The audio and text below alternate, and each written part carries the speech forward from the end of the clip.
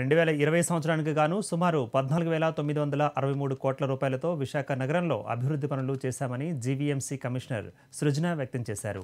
నగరంలో నీటి సరఫరా నిర్వహణ ఏర్పాట్లు పూర్తి చేశామన్నారు. ఇక నగరంలో అక్రమ నిర్మాణాలను తొలగించి క్రమబద్ధీకరించినట్లు తెలియజేశారు. అదేవిధంగా జీవీఎంసీల పరిధిలో యాభై పాఠశాలలను అభివృద్ధి చేసిన విషయాన్ని ఆమె వివరించారు. ఎవరైనా తప్పులు చేయాలనుకునే వాళ్ళకి ఒక మెసేజ్ లాగా ఉండాలి. ఇలా ఎప్పుడో ఒకసారి మనం దొరుకుతాం ఇలాంటివి చేస్తే ఎంకరేజ్ చేసే వాళ్ళు ఉండరు అనే మెసేజ్ని ప్రజలకి ఇష్టం ఉందని చెప్పి మీకు అందరికీ తెలుసు. పదకొండు మందిని సరెండర్ చేయడం జరిగింది. అంటే అది ఇన్ హౌస్ డిసిప్లిన్ చేసుకోవాలి సిటీని కూడా డిసిప్లిన్ చేసుకోవాలి అనే ఆ కూడా ఎవడో చెప్పిన చెప్పుడు మాటలు విని దయచేసి అనవసరంగా ఇల్లీగల్ కన్స్ట్రక్షన్స్ లాంటివి చేయకండి. మనం ఎప్పుడైనా రూల్స్ ప్రకారం చేయాలి రూల్స్ ప్రకారం చేస్తే మొత్తం వ్యవస్థ మన వెనకాల ఉంటుంది.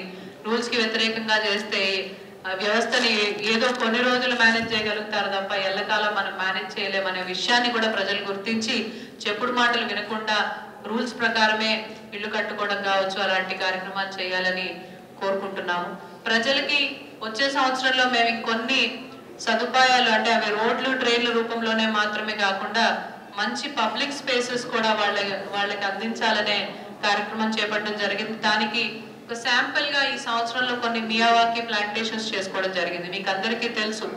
మనం చెట్లు మన చెట్ల సంపద పోతోంది వృక్ష సంపద పోతోంది. దాన్ని మళ్ళీ కాపాడుకోవాలి. ప్రజలకు ఒక ఆరోగ్యకరమైన వాతావరణాన్ని మనం ఇవ్వాలి అంటే మొక్కలు పెంచుకోవడం పార్కులు ఏర్పాటు చేసుకోవడం అనేది ఎంత ముఖ్యమో మీకు అందరికీ తెలుసు. దాన్ని గుర్తించే మియావాకి అర్బన్ ఫారెస్ట్ మోడల్ని మనం తీసుకోవడం జరిగింది. దానివల్ల అది ఒక ఆక్సిజన్ హబ్గా మాత్రమే పనిచేయడం కాకుండా మన పిల్లలు వాళ్ళందరూ మర్చిపోతున్న స్పారోస్ పిచ్చుకలు బటర్ఫ్లైస్ లాంటివన్నీ ఒక నేచర్ హబ్ని మియావాకి ద్వారా ప్రజలకి అందించాలనుకుంటున్నాం. అవి మాత్రమే కాకుండా హెర్బల్ ప్లాంటేషన్స్ ప్లాన్ చేస్తున్నాము. ఆస్ట్రో గార్డెన్స్ ప్లాంటేషన్ చేస్తున్నాం. ఆస్ట్రో గార్డెన్స్ అంటే మన అది హోమియోపతిక్గా కూడా మా- పనిచేస్తుంది అండ్ ఆక్యుపేషన్ ఆక్యుపేషన్ కోసం కూడా పనిచేస్తుంది. సో ఆరోగ్యాన్ని ఆహ్లాదాన్ని ఇచ్చే గార్డెన్స్ని ఎక్కువ ఈ సంవత్సర కాలం వచ్చే సంవత్సర కాలంలో మేము చేయాలనుకుంటున్నాం. అది ఈ సంవత్సరమే మేము చేయాలనుకున్నప్పటికీ కూడా corona was a major reason మేము ఏ మౌలిక సదుపాయాల కల్పనలో కూడా